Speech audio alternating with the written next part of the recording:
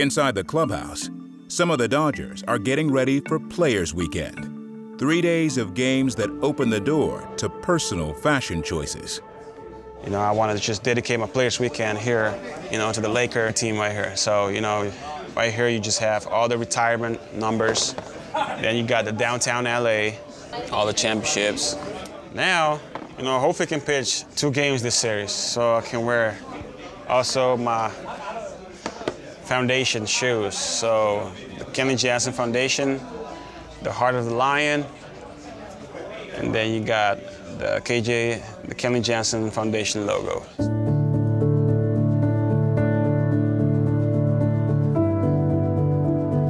Graciousness. What's up? Dude, thanks for coming, dog. Yeah, dude. Yeah, yeah. Outfits. Hey, she picking, man. She's my designer now, man. Hey. What's up? What's up, dog? Appreciate you for coming, man. Yeah, absolutely. Yeah. How you doing? Hi, everybody. Hope you're enjoying yourself.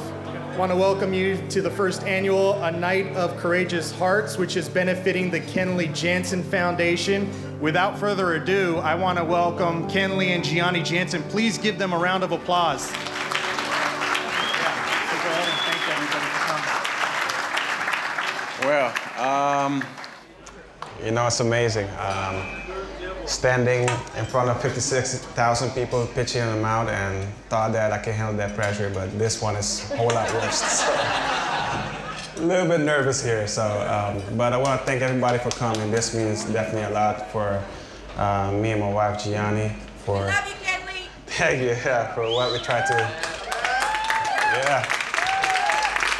What we tried to accomplish for kids, you know, so um, with me and my wife Gianni, it started, um, you know, being in New York, I remember one year, um, two years ago, um, my kid, my, our son just got um, sick. It was 2017, you know, our son got sick and go to the hospital and, you know, we spent basically our holidays in the hospital, most, most of it. Caden tonsils got super swollen up that um, he couldn't breathe. It's hard, it's sad, devastating, and then he's like just quiet, bored, and then also keep watching the machines, what's going on. He wants to know what's happening. Caden was down, uh, down on himself all the time. To see our kid being sick and don't have no toys, no nothing to play, and my wife just, you know, get, hand, hand, him a toy, and it doesn't matter how sick he was at that time, just that one toy who makes, it, who makes him happy.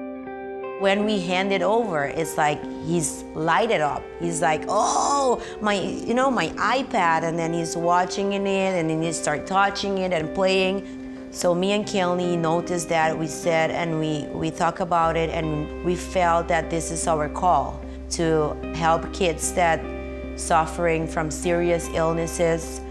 That's how we kind of come put it together to have a Kelly Jansen locker.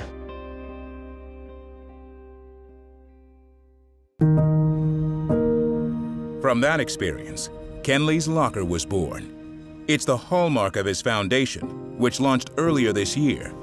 Inside are tablets, video games, and DVD players, all meant to distract and entertain patients in pediatric care during their stays. And their hope is to put these lockers in hospitals throughout the Los Angeles area.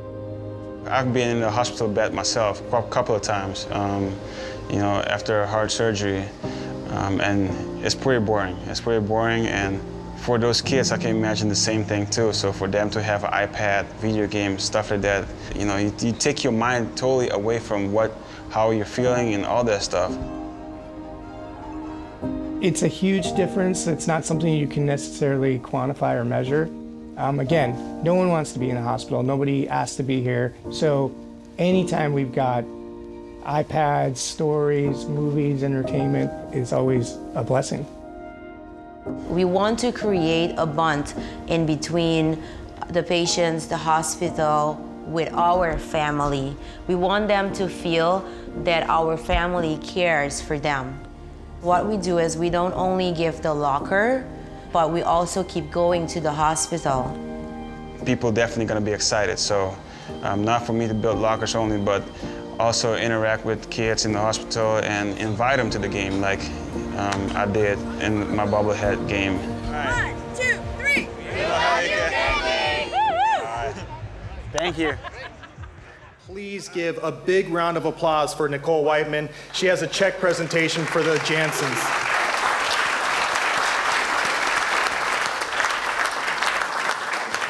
The Dodgers Foundation is all about um, helping youth and families with limited access to education, to health, and to sports. And Kenley and Gianni are doing just that. And so tonight I am so pleased to present them with a check for $90,000.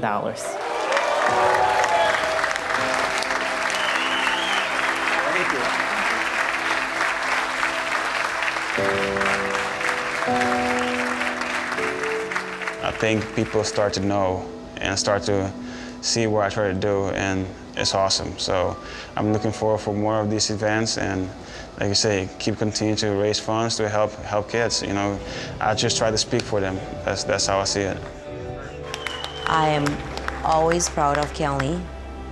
Um, since he, since we started with each other and everything, everything Kelly do, I'm proud of him because he have a heart of gold.